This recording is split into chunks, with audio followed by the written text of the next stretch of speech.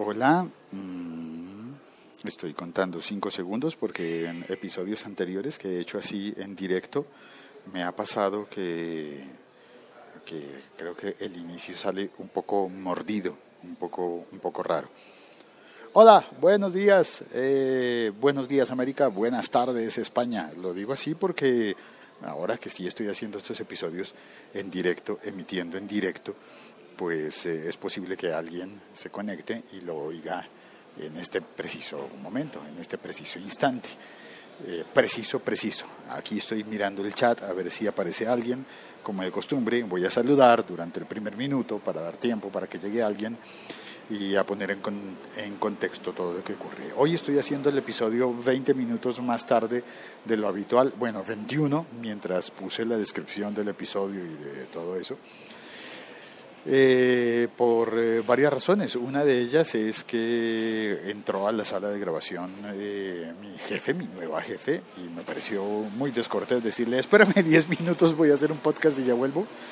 Entonces decidí mejor atenderla con todo lo, con, con ¿cómo se dice?, con la deferencia que se merece.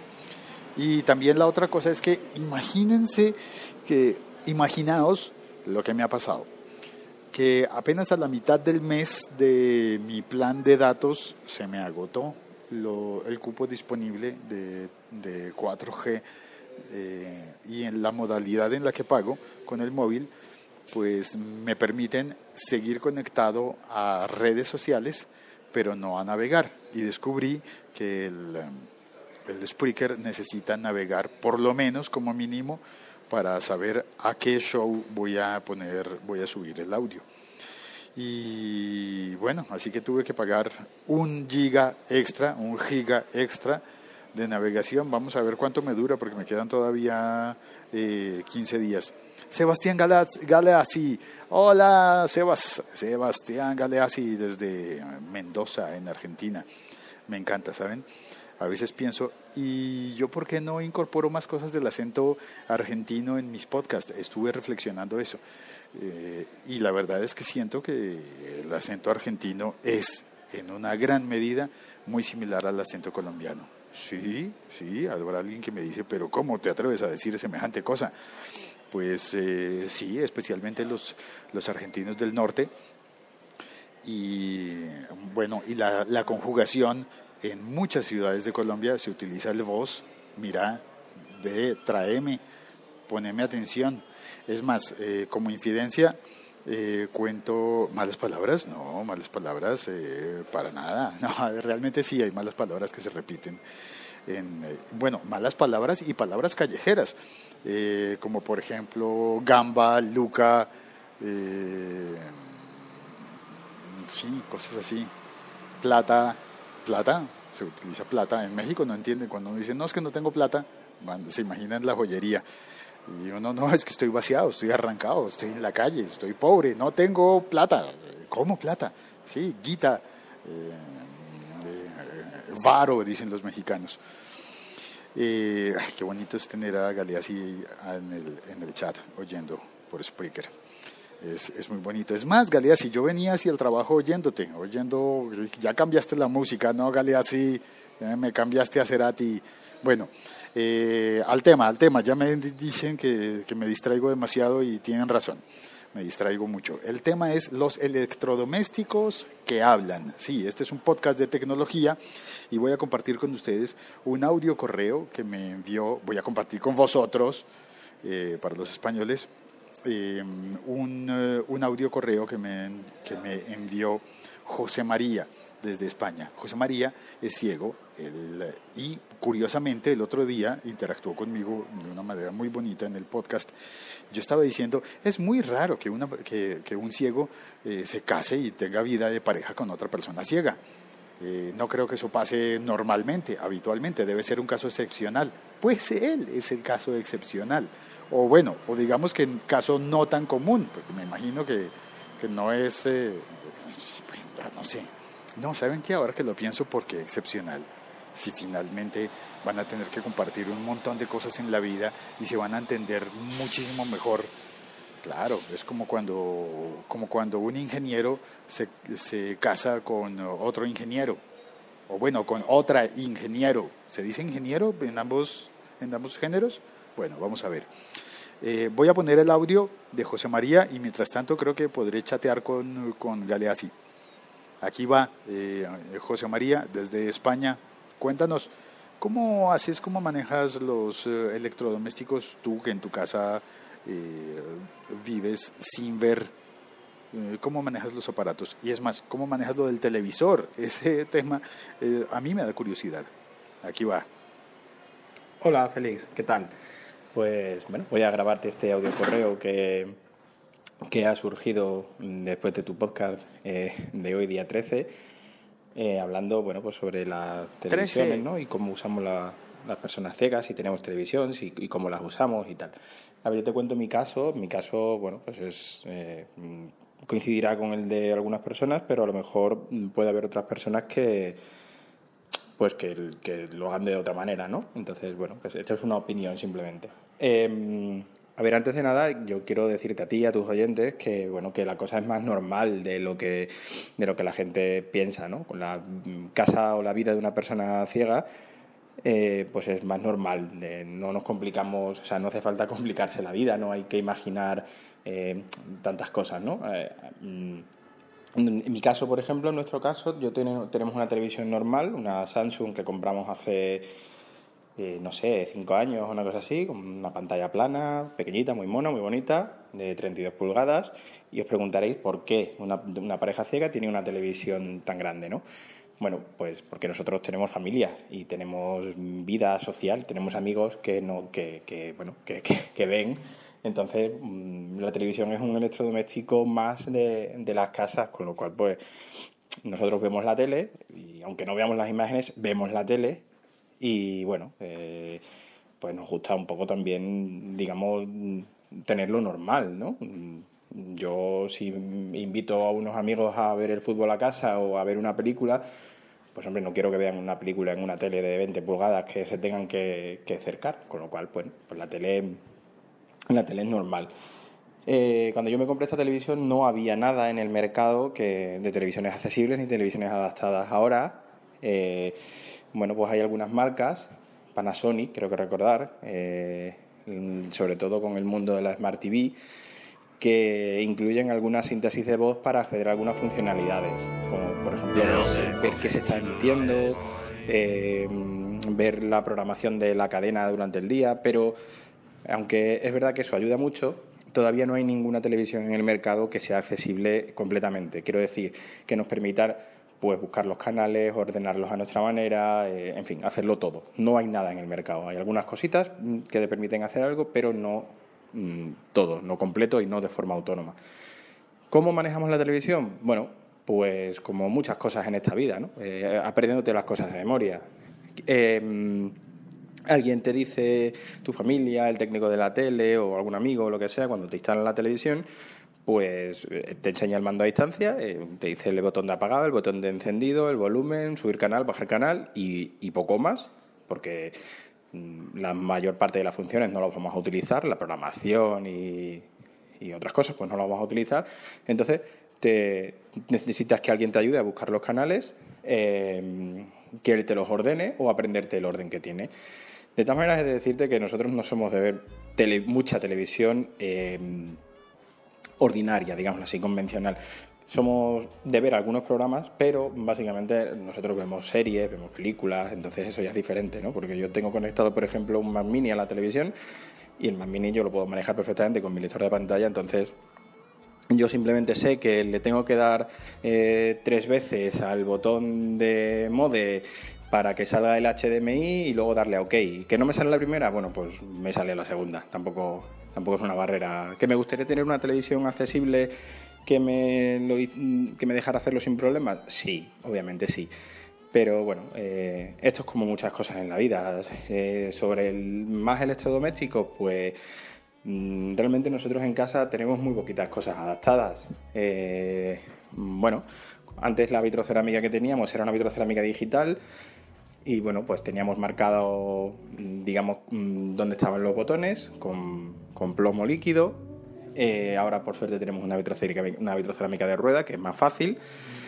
Eh, la Thermomix, que supongo que todo el mundo sabe lo que es, eh, supongo en Colombia también se estilará el uso de la Thermomix, es un aparato de cocina como una batidora que bueno, te permite hacer más cosas.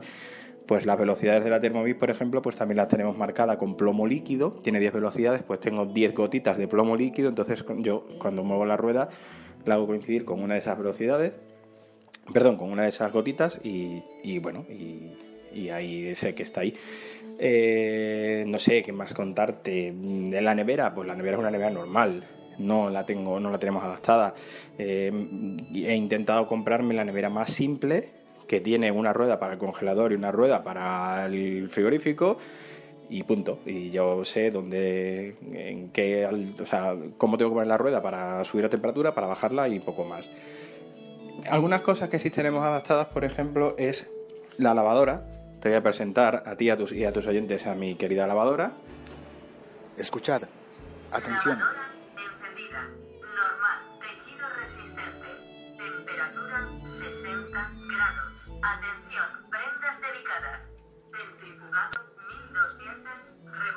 Bueno, pues esta es una, una lavadora que sacó una marca hace, o hace muchos años, ya está descatalogada y ahora mismo en el mercado no hay absolutamente nada más. Esto está descatalogado y esto ahora mismo no se puede conseguir, con lo cual la estamos cuidando como, como oro en paño. Entonces es, es una lavadora normal y corriente, pero tiene una rueda que al girarla pues te va diciendo eh, en qué programa estás y luego tienes con los botones que tienes puedes modificar la temperatura, eh, ponerle ciclo diferido, en fin, muchas cosas, ¿no? Entonces lo apagas y te dice lavadora apagada. Eh, otra cosa también adaptada que tenemos en casa es una báscula, una báscula de cocina, por ejemplo.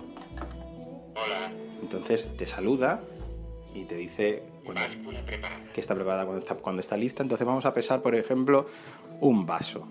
Un vaso de cristal.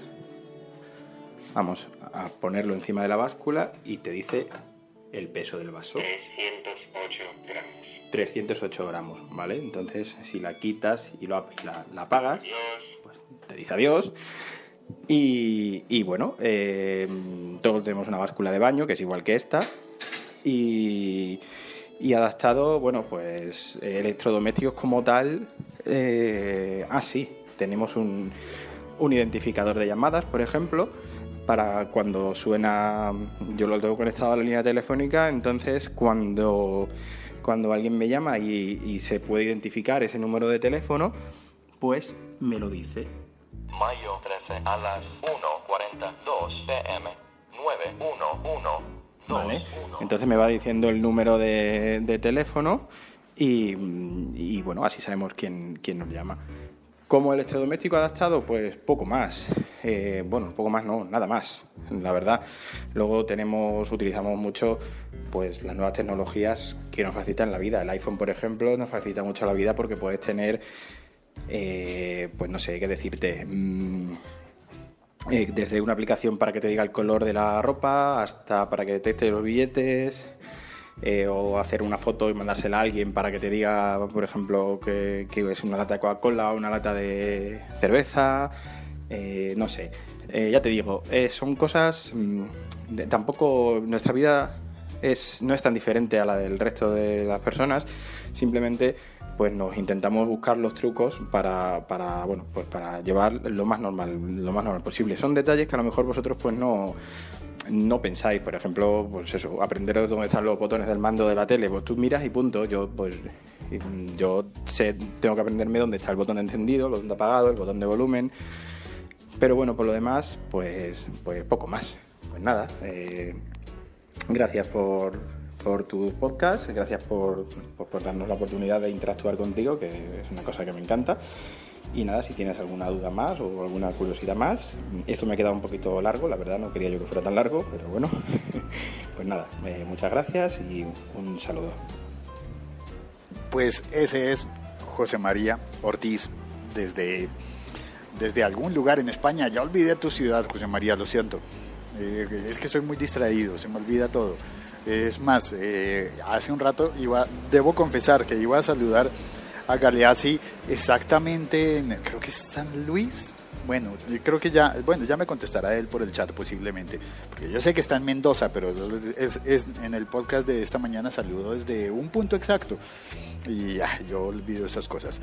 Pero eh, bueno, como olvido saludar, antes de que se me vaya a olvidar, eh, saludaré a eh, no solo está Galeazzi en el chat, debo contar que hoy está entretenido esto. Está Edgar Wayne, eh, Edgar debe ser primo de Bruce Wayne. Edgar está en Oaxaca, México. Y dice que por fin pudo, ah, están, eh, eh, por fin pudo entrar al, al- al chat. También saludo a Alexandra. Alexandra está en Medellín, Antioquia, Colombia, una de las ciudades más bellas del, del planeta. Eh, bueno, no conozco tantas, pero algunas conozco. Y entre esas, Medellín se las recomiendo a todos. Es una ciudad bellísima. Como me dice Galeazzi que está es en San Juan y que en un rato vuelve a Mendoza. Ah, ahora entiendo, son dos distintas. San Juan es una y Mendoza es otra. Yo pensaba que Mendoza era la provincia y que dentro de, dentro de la provincia de Mendoza estaba San Juan. Ya me corregirá Galeazzi. Que, entre otras, en el chat, mientras tanto, Galeazzi me preguntaba sobre si el lenguaje eh, en Colombia coincide con las malas palabras de Argentina. Eh, yo le decía que no, hay muchas malas palabras de Argentina que para nosotros los colombianos resultan graciosas, chistosas. Eh, también nos pasa con, palabra- con malas palabras de, de México. Por ejemplo, esto ya lo he contado antes, en Colombia es muy natural y muy normal decirle a la gente, ay, no seas pendejo, eh, no me digas pendejadas o cosas así. Y tengo entendido que en México eso es grave, gravísimo. Así que no lo voy a decir. Es más, eh, donde dije pendejadas, por favor, entiendan eh, tonterías. ¿Voilà? Eh, a ver si, si Bruce es la oveja negra de la familia, dice Edgar Wayne desde Oa- Oaxaca. Eh, y hablando de las malas palabras, yo mientras tanto estaba haciendo el ejercicio imaginativo de, de la... ¿cómo, se- ¿Cómo fue que dijo José María que se llama su, su batidora, su máquina esa para hacer todo? asistente de cocina, nosotros le decimos es asistente de cocina, una máquina que sirve para hacer todo, para licuadora, batidora, picadora, eh, mezcladora, eh, todas esas cosas y estaba pensando, ¿y la lavadora o cualquiera de esos aparatos que nos, que nos mostraba, cuyas voces nos mostraba José María, ¿se sabrán groserías? Digo, porque, por ejemplo, con la tostadora uno le pasa que uno quiere hacer la tostadora, digo, uno quiere hacer el pan tostado en la mañana y en Colombia, ¿saben qué? Es más, hay un objeto en Colombia que voy a permitirme, discúlpenme, estos, estas palabras que voy a decir en Colombia sí son groserías, pero hay un chiste muy común que la gente hace especialmente en los restaurantes con los saleros. Se dice que en Colombia hay dos tipos de, saleros, el hijo de puta y el malparido. Y todo depende porque tú agarras el, sal- el, el salero y empiezas a moverlo encima del plato de la comida y no se lee nada, no sale nada de sal. Y entonces tú dices, este malparido. Y de, repente le mueves la tapa para tratar de que salga mejor la sal. Y vuelves a agitar el salero y se cae la tapa, cae toda la sal sobre tu, sobre tu plato y tú dices, este hijo de puta.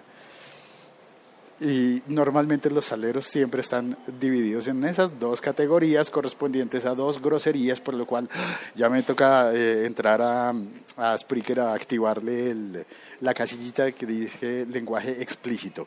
Eh, bueno, y esa es una de las cosas que yo nunca podría hacer en mi trabajo en radio. Me sancionarían si llego a decir yo esas palabrotas.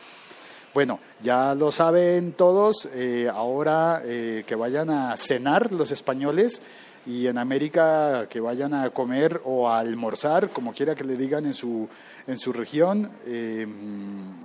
Ojo con el salero, muchachos, miren muy bien el salero y piensen que los saleros también tienen, también tienen voz, pero la voz es nuestra, somos ventrílocos, no son aparatos tan, tan sofisticados como los de, como los de José María, que claro, la lavadora hay que cuidarla, porque si no han salido más aparatos que hablen.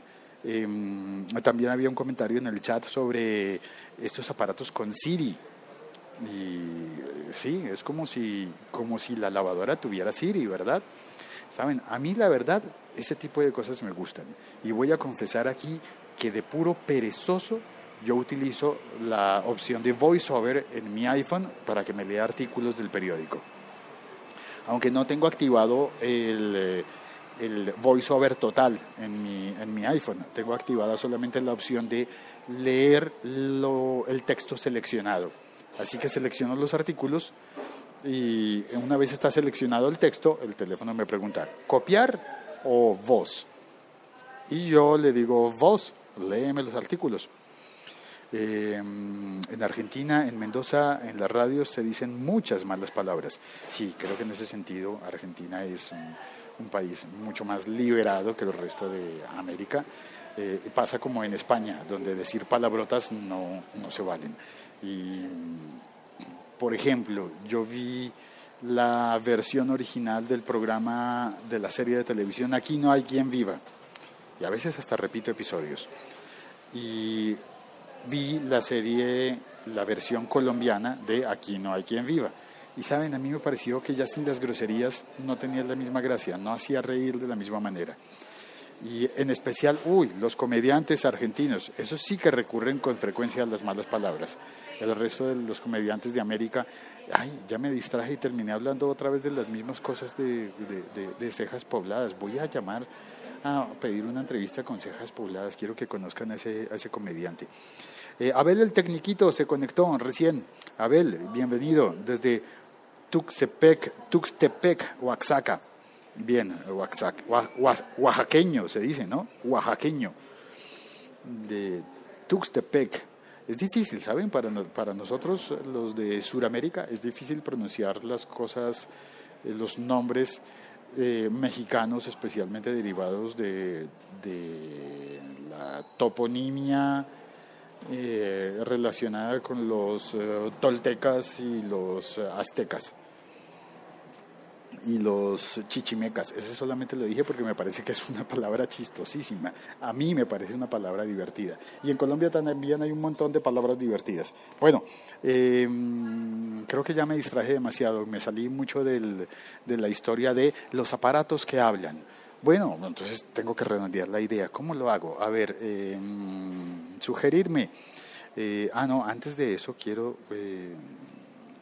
nombrar algo en otra fuente que es en los tweets, los trinos. Eh, quiero saludar a Mike Suárez, podría ser Mike Suárez, que me habla de una convocatoria de tipo modo premundial, de un blog muy importante en Colombia que se llama bestiariodelbalón.com. Ahora en un instante voy a retuitar, a retuitear, retrinar eso. Y quiero saludar también a Narvique. Eh, Narvique contestó a este mismo tema de los aparatos que hablan y de la utilidad de las utilidades tecnológicas pensadas en las personas ciegas. Y es un podcast que todavía no he oído, está en Spreaker y dice entre cie- ciegos y la TV, entrevistando a Guipera, arroba Guipera en Spreaker. En, eh, en un instante voy a retrinarlo, el de Nar, Narvique. Eh, y Rosa La Mala también me dijo que me envió un, un audio correo que lo estaré revisando para compartirlo quizás mañana o quizás el viernes. Vamos a ver cómo lo, cómo lo logro.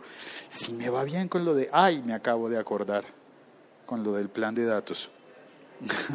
Ojalá no me haya gastado con esto muchos datos, por Dios, para poder hacer el directo mañana y el, el resto. He estado pensando más bien hacer los directos solamente una vez a la semana, justamente para ahorrar datos, para que no me salga tan costoso, para poder hacerlo desde un sitio donde tenga wifi. Pero vale, eh, pero dila con la... eh, Edgar Wayne me dice dila como J, oaxaqueño, oaxaqueño con la X como J, igual que en México se escribe con X pero se dice con J. Eh, como jaja escribe el tecniquito. Ah, pero según ese, según ese orden de ideas debería escribirse XA, XA. Claro, acabo de caer en cuenta, en cuenta, una risa mexicana, las risas en inglés, en los trinos, cuando tengo que escribir risas en inglés, por algo que me pareció divertido, tengo que escribir HA, HA. Cuando escribo risas en español, escribo JA, JA. Pero ahora que caigo en cuenta, cuando me vaya a reír de un chiste mexicano, escribiré XA, XA.